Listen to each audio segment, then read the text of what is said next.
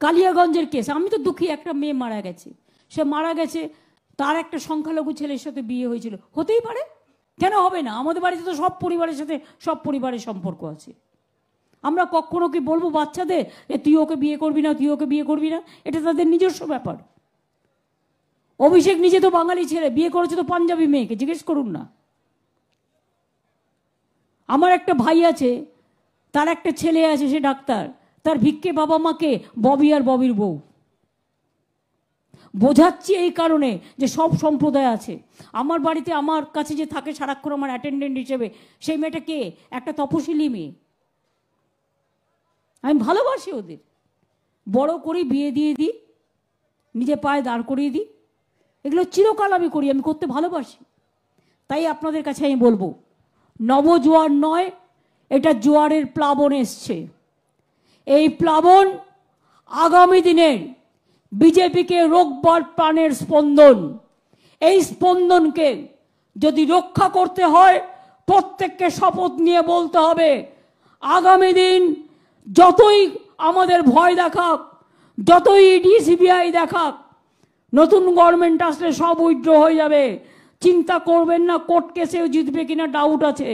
আমি বলতে চাই, ভয়ের কাছে মাথা নত করব না। একটা গান আছে রবীন্দ্রনাথ ঠাকুরের, আমি ভয় করব না, ভয় করব না। আমি তরি খানি বাইতে গেলে, মাঝে মাঝে তুফান মেলে, তাই বলে হাল ছেড়ে দিয়ে কান্নাকাটি করব না। আমি ভয় করব না, ভয় করব না।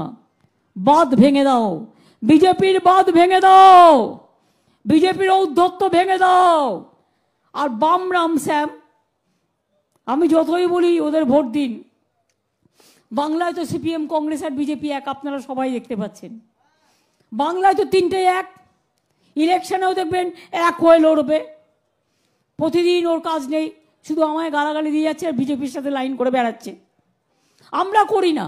দেখলেন তো আমি বললাম, কর্ণাটকে ভোট দিও না বিজেপিকে, অন্যদের দাও। কই, তখন তো বলতে আমার সংকোচ হলো না।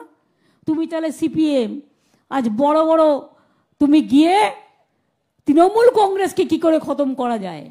তৃণমূল কংগ্রেসের বাড়িতে কি করে ইডি লাগানো যায়? সিবিআই লাগানো যায়? কীভাবে অত্যাচার করা যায়? দেখেননি ওদের চৌত্রিশ বছরের অত্যাচার? ভুলে গেছেন সব? কাটরা মসজিদে কত লোক খুন হয়েছিল? হরিয়ার পাড়ায় গুলিতে কত লোক খুন হয়েছিল? দেখেননি একটার পর একটা অত্যাচার? সিঙ্গুর নন্দীগ্রাম তো লেটেস্ট তার আগে প্রচুর ঘটনা ঘটেছে। মানুষকে শুধু খুন করত, শুধু খুন করত, নাপিত বয়কট করত, ধোপা বয়কট করত, কি না করেছে? কারোর জন্য কিছু করেনি। আর আজকে বড় বড় কথা। কাজে যদি আপনারা আমাকে একটু বিশ্বাস করেন, একটু বিশ্বাস ভরসা করেন, টিভি দেখে সিদ্ধান্ত নেবেন না, ওগুলো বিজেপির দালাল, বিজেপির টাকা পায়, তাই বিজেপি করে, নালে বিজেপি টিভিগুলো উঠিয়ে দেবে। কানে শুনে করবেন না, চোখে দেখে করুন। হৃদয় দিয়ে দেখুন। আর হৃদয়টাকে সযত্নে, মনটাকে হাসি খুশি রেখে, যাতে খারাপ কাজ আমরা না করি, আর কেউ যদি করেও থাকেন, সংশোধন করে নিন। মানুষ মাত্রে ভুল হয়ে থাকে।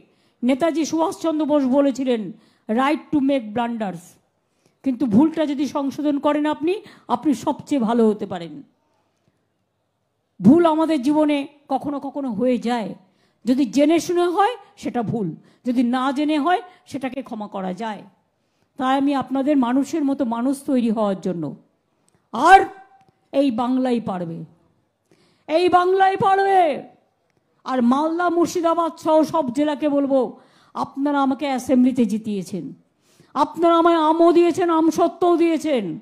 আগামী দিন মনে রাখবেন, বিজেপিকে হারাবার জন্য আমার আম চাই, আম সত্য চাই, আমের আচার চাই, আমের চাটনি চাই, আমের সন্দেশ চাই, আমের দই চাই, আমার সবটা চাই।